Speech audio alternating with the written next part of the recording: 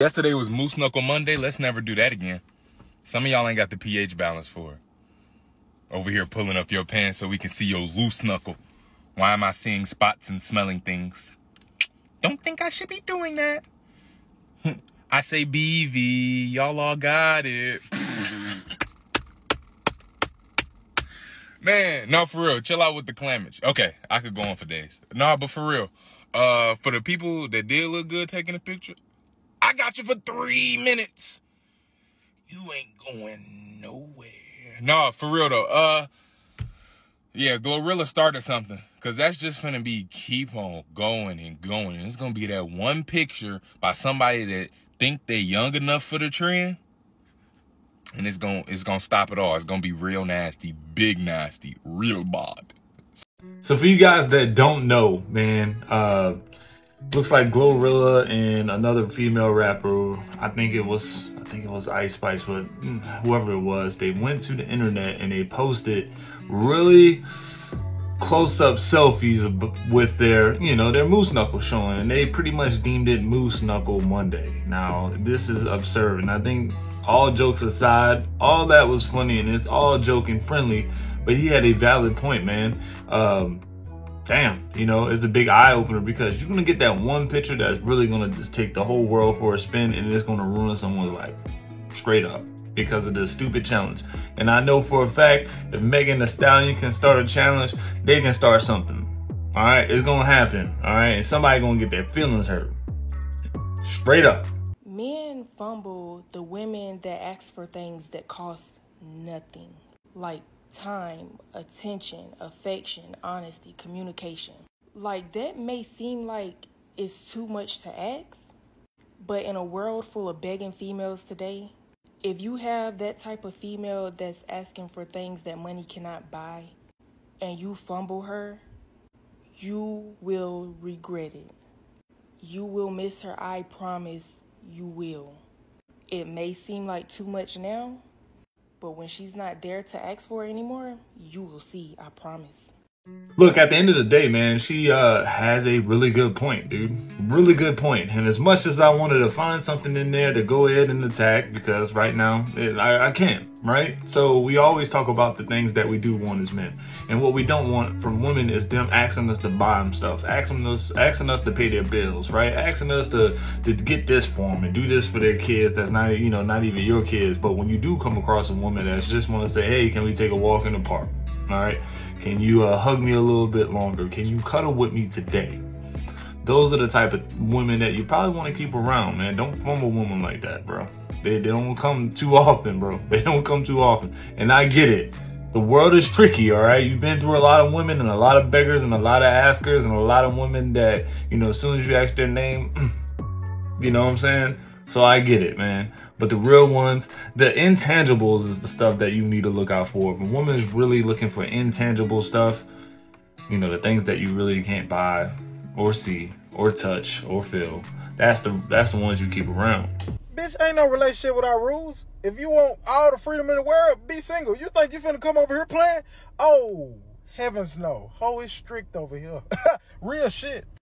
Name one person that honestly believes they can be in a relationship without having any rules, standards, or uh, codes to follow. Come on. Let's, let's just be honest. So I just woke up to this this morning.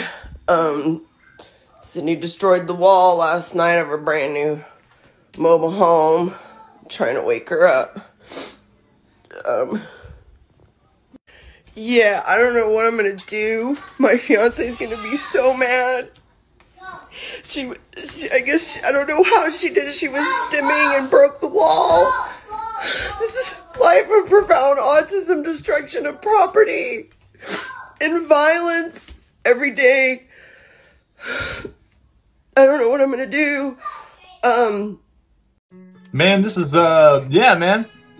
You know, word to that guy. This is why you don't date single moms right now. See, now you got your brand new property destroyed by someone that a child that's not even yours. For what? Because you love the mom so much, but obviously her child has something against you in the house that you didn't put her in. So, yeah, man, be careful. Yeah, be careful about that. So let me tell y'all how I went on a date and found out he was a Uber driver. So I met this man on Instagram, right? So I met him. We started chit chatting in DM, you know, typical conversation. So then I see my friend is following him. So of course I send his Instagram to my homegirl, and I'm like, So I'm gonna go ahead and speed the story up for y'all so y'all can know what's going on before I give my little piece. So she asked her friend basically, you know, how she know the dude. She says, I don't know, he might have been my Uber driver. And then after that, she's like, Are you sure? And then uh, ultimately, she ends up going on a date with the dude. During the date, she ends up asking him if he's an Uber driver, and he says yes. Um, and then after that, she says she wasn't interested because she's not trying to date a dude who's an Uber driver. Uh, he's 48 and an Uber driver, and so she's looking for someone who's more established. Here's my take on that. At 48, okay, kind of suspicious drive Uber, but still, I made $100,000 on Uber last year. I can actually back that up as well. Women be really sleep on a lot of guys just because of the title of their job. And what's going to happen is they're going to wind up hitting a wall later on in their life. She's 33 right now and her standards are way too high. And I bet you in about three to four years when that wall is like right there in her face, she's going to be like, man, you know what? That Uber driver was a really good dude. All right. And don't sleep on Uber drivers, man. Look, you seen those prices lately and them fees, and boys racking up some money. And I can't even, I can't even blame them, man, for getting out there and hustling. Yeah, I get it. All right. It's not a career job. I get it, but don't women don't pass up a good dude just because he's an Uber driver, right? That doesn't make any sense, all right? Men are not as picky, man. To be honest with you, you can be uh, the cashier at Chick-fil-A for all we care, and we still might wife all right? Woman, 33, get a hold of yourself, bro. And, and to be honest with you, she's probably not even doing well herself anyway. The reason why she wants someone that's established because she don't she's tired of working and she don't want to be independent and strong anymore. You ask that man for something and he say no, you never talk to him again. Y'all be like, how you asking for money? How you asking for money? You just ask, simple. Hey, babe, my nails. You think you'll pay for him? He say no, you disappear. Has it ever occurred to you that you need a man to tell you no? Like, like let's let's let's just dial it back some. Like like like let's just keep it real. Have you ever realized that you do things too much for yourself? You spend too much money. You you don't have self control. Okay, you don't have good money management. You don't have this. You know, like discipline in some areas that a man is has to tell you no. All right. Now, at one time before, I used to say, "Hey, always say yes." I uh, always try to say yes as much as possible because the times that you need to say no, it carries more weight. I used to think that way. Then I realized, man, bro, I'm gonna go broke if I keep saying yes, man. And I actually got a little bit mature and a little bit wise and a little bit more disciplined with my money, and that comes with age and, and you know life examples. But let's just be honest, women, y'all need a good man to tell y'all no. Y'all really do. And in retrospect, uh, a retrospect, when y'all go down the line and y'all happy in a long lasting relationship, you're gonna look back and be like, man, this man really kept me in check. Not the way I expected him to, but he kept you in check. Give me my phone. Said he texted you? Let me see my phone. Said he texted you? Erwin, let me see my You're phone. a fucking cheater, dude. Dude, open it. Stop. Said he's Dude. seven messages. What Oh the- my god, bro. Give it to me. Now y'all are really getting super creative out here. All right, you're cheating on your man, and under context you put settings. All right, and you're trying to play it off like it's a normal phone notification, but guess what? Men ain't stupid, ladies. Stop it right there. All right. What kind of what what? How do you think? How long this was gonna last for? How many settings do you get? How many settings alerts do you get a night? You surely ain't getting seven of them bad boys. Let's be honest. All right. And settings don't text you. All right, especially at 1 a.m. talking about what you're doing. Settings don't do that. How you think you was gonna get away with that? Be honest. My guy, just keep it moving. Don't even read the messages, man. Don't even read the messages. You don't want to see what's in the messages. You know it's nothing good. Like she's going out of her way to hide messages so far that she actually named her sneaky link settings and even gave it a profile picture. You don't want to see what's in the messages, my guy. She's hiding messages. All of a sudden, she doesn't know the password to her own phone. Just, just don't play them games, man. I know the betrayal's gonna hurt. It's gonna sting for a while, but you'll you'll be alright. You'll you'll you'll heal. You know, you'll get over it. Just just keep it moving, man. Don't read the messages. You already know what's up. Just- Just keep it moving. So I'm I'm not a person that particularly likes to date people with kids, mm-hmm. anyways. So mm-hmm. issues. Fair. It's very fair. It, so people always say say that to me, like that's not fair That's not because you have kids, dog. right? Come on. But the way I counter that is, yes, I have kids, but I don't have that that dynamic. Mm-hmm. You know what I mean? Like But, but I understand, but that's not fair. It though. is, You because can't just X somebody I'm out. telling you, I don't want to deal with you because of the drama. One thing I will never understand is a single mother who says she refuses to date a man with kids. Like, how does that even make sense? Y'all come up with every reason in the world. Bitter baby mama drama. Don't want to be playing stepmommy. This, that, and the third. You didn't bring those kids into this world. You're not responsible for them. But in the same breath, you think that man is supposed to do that for you. And then if he doesn't want to do those things, if he doesn't want to accept you for the fact that you have children by multiple different men, he not a real man. The guys that they don't want to date women with kids, With kids, either. correct. Yeah. Because they feel like what's you know. Well, I'm saying, but they feel like, what is what? Why should I invest into that situation when it's not Mine. mine, child? Yeah. You know what I'm saying? Um, so I understand what you're saying. That's You're saying man, drama. though. Well, I- let me let me pick the document down. yeah, tell That's us not what a I'm man. Break it down for me. Excuse me, but if we were to flip flop the genders and use your logic against you, wouldn't you not be considered a real woman? You're doing too much. Asking for too much. You're unqualified. You're asking for something you can't even give yourself. Can we please stop with the double standards because it's getting ridiculous out here? Guess what? She's probably gonna find out the hard way, all right? When she keeps looking and keeps looking and is trying to find a guy, a single guy, that's gonna willing to give her, be willing to give her a shot. Let's just be honest. It's probably a, a guy or here or there too might give her a shot because she looks good. You know, she might have some game or whatever. All right, gives it a shot and continues the date, and this it ends horribly because he comes to the conclusion that he doesn't want to be taking care of someone else's kids. All right, it's totally okay for you to date another man or a man with kids. People with kids that that don't have any other options because they can't find single people to match up with. Guess what? You're down to the next level, man. And the next level is you're gonna have to probably give it a shot with someone else with other kids. It's being a it's realism, right? That's reality right there. Try to see if that works out. Now, if you're a man and you got a lot of provisions and you're well off and you're established, I mean, I think the the the rules and the metrics works a little bit favor for you trying to find a single woman. Let's just be honest. Let's just be honest. A two, you know, by numbers alone, there's more women in the world. All right, I'm sure you're gonna come across a single one. All right, that's gonna give you a shot being no kids. All right, just Guess what? There's no line of men waiting to be a stepdaddy. There's lines of men waiting to you. Yes. Yes. There's plenty of them. There's plenty of them. There's a line of men waiting to on me. But there is not a line of men waiting to be great stepdads. I, I want to be the best stepdad ever. No. So although that may be her reality, y'all women, the average woman, y'all need to get that shit out y'all mind. Then you gonna sit on your behind and have five, six, seven, eight, nine, ten kids. For what? Why? And then you want to cry and say you can't find a man. Uh, fucking court. I, I bet you can't. You don't need to be looking for a man, honey. You need to be looking for a babysitter. Like, you need to be looking for the best job that you could possibly find. And then I'm I'm not saying it is not possible because it is possible. I know women who have a lot of kids and they got a man. But it's not easy and it's not a line of men that's waiting to become stepdaddies. It's not.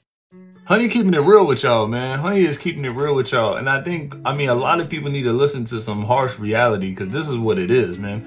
At what point in time will you start, like, just really think, man, I need to stop having kids after two? I'm not even married. I'm two for two. All right. That's bad. Uh, that's, that's, that's bad by every means. And then you have the third one.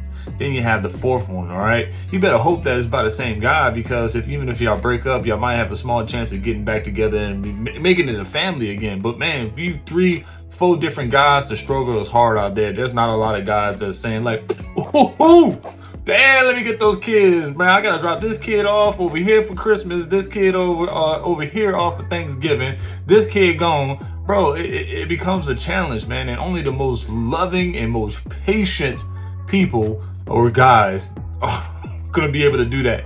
But like she said, man, that's a lot of hard work for you as a woman, for you as for you as women to have that guy hook, hook, line, and sinker.